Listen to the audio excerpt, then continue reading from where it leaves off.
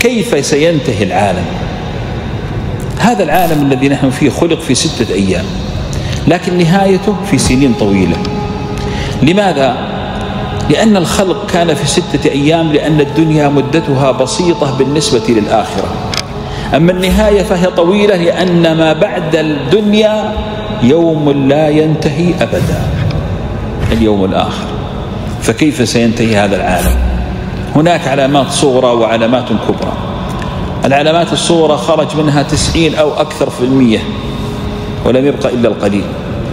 أما العلامات الكبرى فهي عشر متتابعات. أولها خروجا الدجال. المسيح الدجال يخرج من أصفهان في إيران. هناك حيث الشر كله. الرافضة واليهود ينتظرون خروجه. سيخرج في أصفهان كما قال النبي صلى الله عليه وسلم. يتبعه سبعون ألف يهودي عليهم الطيالسة. ولذلك مهما أظهر الرافضة عداءهم لليهود فكلهم على قلب واحد. وكلهم على ملة واحدة ملة الكفر. فإذا خرج الدجال سيمكث في الأرض أربعين يوما.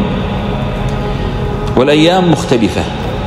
يوم طويل طوله سنة ويوم طوله شهر ويوم طوله أسبوع ومعظم أيامه الباقي مثل أيامنا هاته الأيام العادية. يوم طوله سنة قد يستغرب البعض ما معنى يوم طوله سنة؟ هل تعلمون أن هناك مناطق في الأرض الشمس لا تغيب فيها في السنة كلها إلا ساعات بسيطة؟ وباقي الوقت كله نهار. وبعض المناطق النهار ستة أشهر والليل ستة أشهر. فهذا ليس بغريب على الله عز وجل. المهم أنه سيخرج وهو أعظم فتنة تمر على الإنسان. وما من نبي إلا حذر أمته منه. حتى إننا نحن في كل صلاة نصليها نتعوذ من الدجال. سينطلق هذا الدجال. في الأرض يعيث فسادا. لا يدخل في قرية إلا فتن أهلها. وتجري على يديه من خوارق الأمور الأمور العجيبة لأن الله يفتتن فيه الناس. ولا أريد التفصيل الكثير فيه لأني أنا أريد إلى أصل إلى شيء آخر. ينطلق في كل مكان حتى يصل إلى مكة والمدينة لكن لا يستطيع أن يدخلها. فلا يبقى مكان إلا وصل إليه. في أثناء ما هو يجول ويصول في الأرض تخرج العلامة الثانية. ألا وهي نزول نبي الله عيسى بن مريم صلى الله عليه وسلم الذي رفعه الله إليه في السماء. ينزل عند المنارة البيضاء شرقي دمشق كما قال عليه الصلاة والسلام. ينزل وأول مهمة له هو أنه يبحث عن الدجال لينهي فتنته. فينطلق يبحث عنه يبحث عنه. الدجال يعرف عيسى. صلى الله عليه وسلم. يعرفه بريح نفسه. وإن ريح نفسه كما قال عليه الصلاة والسلام ليبلغ منه مد البصر. فينطلق خلفه يبحث عنه حتى يدركه في باب اللد. أتعلمون أين باب اللد؟ باب اللد في فلسطين في الأرض التي يحتلها اليهود الآن. إذا هو خرج من أرض الرافضة وسينتهي في أرض اليهود. هناك يدركه عيسى بن مريم. فيذوب الدجال كما يذوب الملح في الماء. لكنه يدركه فيقول إن لذيك ضربة ولن تخطأها. فيضربه بخنجره فيموت الدجال وتنتهي فتنته. يلتف الناس حول عيسى بن مريم صلى الله عليه وسلم. وبينما الناس منهمكون ومقبلون عليه وفرحون به إذ بالعلامة الثالثة من علامات الساعة تخرج. ألا وهي يأجوج ومأجوج. يأجوج ومأجوج هم قوم حبسهم الله من أيام ذي القرنين وبنى بيننا وبينهم سد عظيم. إذا خرجوا سيخرجون عندما ينهار هذا السور وهذا السور رحمة من ربي. فإذا جاء وعد ربي جعله دكا ثم يخرجون منه يموج بعضهم في بعض كالأمواج مليارات البشر. تخيلوا يا كرام. مليار إنسان يدخلون على قرية صغيرة أو على مدينة. يعني الرياض الآن تعداد ثمانية ملايين أو خمسة ملايين أو كذا. مليار إنسان كلهم مجرمين. ليس في قلوبهم رحمة. لو دخلوا إلى مدينة مثل الرياض ماذا سيفعلون فيها؟ يهلكون الأخضر واليابس. هذا هو ديدنهم. لا يبقى بلدة إلا دخلوها وأعدموها. وأحرقوا وسلبوا ونهبوا ويمشون شر في الأرض يمشي. إن من شدة شرهم أن الله تعالى يقول لعيسى بن مريم يا عيسى إنه قد خرج أقوام لا يدان لأحد بقتالهم. يعني لن يستطيع أحد أن يواجههم. فافزع إلى الطور. اذهب إلى الطور أنت ومن معك من المؤمنين. فينطلقون إلى جبل الطور. وعندها يصلون إلى أرض فلسطين إلى أرض الشام. ودائما الشام هذه أرض مباركة فيها تنتهي كل المصائب. فإذا وصلوا إليها دعا عيسى بن مريم ربه وقال اللهم خلصنا منهم فإنهم شر. فعندها يرسل الله تبارك وتعالى على أولئك الخلق الذين لا يعلم عددهم إلا الله. يرسل عليهم في ليلة واحدة دود مثل النغف. أشبه بحيوان القراد الذي نراه حول الإبل. يتسلط على رقاب هؤلاء القوم فيقتلهم الله كلهم في ليلة واحدة. الله أكبر ما أعظم قوة الله. فإذا ماتوا كلهم تنفخت جيفهم وزاد نتنهم. عندها يرسل الله تعالى طيور كأسنمة البخت يعني كرقاب الجمال. تأتي فتحمل هؤلاء القوم وتطير بهم وترميهم في البحار وترميهم في أماكن بعيدة. ثم يأمر الله السماء أن تمطر فينزل مطر لا يبقى بيت وبر ولا مدر إلا دخله هذا المطر فتخرج الأرض بركاتها ويبارك الله عز وجل في الأرض. حتى إن القوم يعني الستة والسبعة أشخاص ليستظلون بقشر الرمانة الواحدة. ليس بالشجرة بالقشر حق الرمانة الواحدة. من شدة البركة في الأرض. يجلس عيسى بن مريم صلى الله عليه وسلم. سبع سنين في الأرض. يحج إلى بيت الله. يكسر الصليب. يقتل الخنزير. يعلن التوحيد. يعود الناس إلى دين الله أفواجا. ينتشر الخير في الأرض.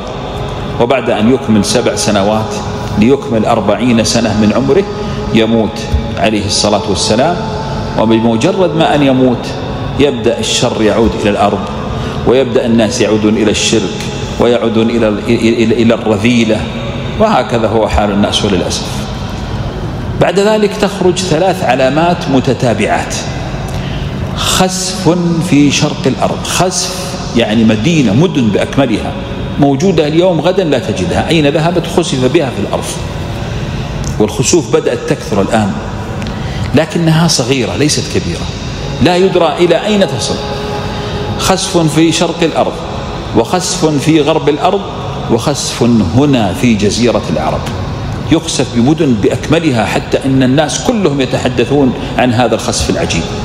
هذه الآن ست علامات خرجت من علامات الساعة. بعد ذلك يأتي دخان عظيم يملأ ما بين السماء والأرض. يتأذى منه الكافرون أذى شديدا ويتأذى منه المؤمنون كالزكمة يعني زي الحساسية أذى خفيف. هذه العلامة هي السابعة. بعدها تخرج آخر ثلاث علامات من علامات الساعة وهي التي قال الله فيها يوم يأتي بعض آيات ربك لا ينفع نفسا إيمانها لم تكن آمنت من قبل. يعني هنا الآن العلامات القادمة هي العلامات التي لا توبة بعدها ولا عمل يقبل ولا دعاء يسمع. ما هي؟ أولها يعني اللي هي العلامة الثامنة أن تخرج الشمس من مغربها وليس من مشرقها. هي تخرج الآن من المشرق لكن ستخرج في آخر الزمن من المغرب كعلامة. فبمجرد ما أن تخرج الشمس من مغربها تضع الملائكة أقلامها فلا توبة تقبل ولا دعاء يسمع ولا عمل يرفع خلاص. الآن يبدأ التجهيز ليوم القيامة. تجلس الشمس ثلاثة أيام وهي تخرج من المغرب ثم تعود تخرج من المشرق كما كانت. بعد ذلك تخرج دابة ذكرها الله في القرآن تكلم الناس. وفي حديث آخر فيه ضعف أنها تسم الناس. يعني توسمهم هذا مؤمن هذا كافر هذا مؤمن هذا كافر. ثم بعد ذلك تموت الدابة وتخرج آخر علامة من علامات الساعة وهي نار تمشي كالسيول تخرج من شرق الأرض وتخرج من بحر اليمن من الجنوب تسوق الناس من كل حدب وصوب تذهب بهم إلى أرض الشام. يقول عنها النبي صلى الله عليه وسلم تقيل معهم حيث قالوا. يعني إذا جاء الظهر وقفت عشان يرتاحون الناس. وتبيت معهم حيث بات فإذا جاء الليل وقفت. لكنها تمشي والناس تهرب منها تهرب تهرب. حتى إذا اجتمع أهل الأرض كلهم في أرض الشام توقفت وانتهت. بعدها يرسل الله تبارك وتعالى ريحا طيبة كالحرير. لا يشمها من في قلبه لا إله إلا الله إلا يموت مباشرة. فيموت كل من في قلبه لا إله إلا الله. ويرفع القرآن ويرفع كل شيء فيه اسم الله عز وجل لأن الساعة لا تقوم إلا على شرار الخلق. فإذا رفع القرآن ومات أهل التوحيد يأمر الله تبارك وتعالى إسرافيل أن يبدأ النفخ في الصور. فكيف يكون النفخ؟ صوت عظيم صعقة. كل من يسمعها يموت مباشرة. يبدأ الصوت قليل ثم يرتفع. أول من يسمعه اثنان يتبايعان يموتان مباشرة. يرتفع الصوت. يسمعه رجل يلوط حوض إبله يموت مباشرة والصوت يرتفع. وكل ما ارتفع الصوت مات يمشي هو يمشي الصوت ويقتل يمشي ويقتل. حتى إذا وصل إلى السماء بدأت الملائكة تموت. ثم بعد ذلك تضطرب السماوات والأرض. تنكدر النجوم والصوت يرتفع. يصطدم الشمس بالقمر والصوت يرتفع. تمور السماء مورا. تكون وردة كالدهان. تسقط شهب السماء على الأرض. تنطلق الشهب إلى البحار. فتسجر البحار والشمس تر والصوت يرتفع. وتشتعل البحر وتشتعل الأرض. والناس تصيح ما الذي يحدث. الذي لم يصلهم الصوت يصيحون. ما لها ما لها. والصوت يمشي ويقتل يمشي ويقتل ويقتل ويقتل.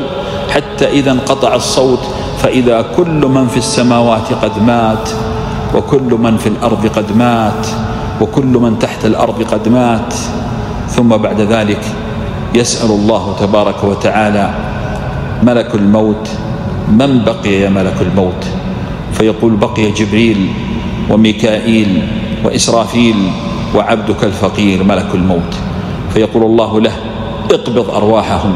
فيقبض روح جبريل أعظم ملائكة السماء ويقبض روح إسرافيل ويقبض روح ميكائيل فإذا لم يبق إلا ملك الموت قال الله له مت يا ملك الموت فيموت عندها يطوي الجبار جل جلاله السماوات السبع بيمينه والأراضين السبع بيمينه ويرجفها ثلاث رجفات هائلات وفي كل رجفة يسأل لمن الملك اليوم لمن الملك اليوم؟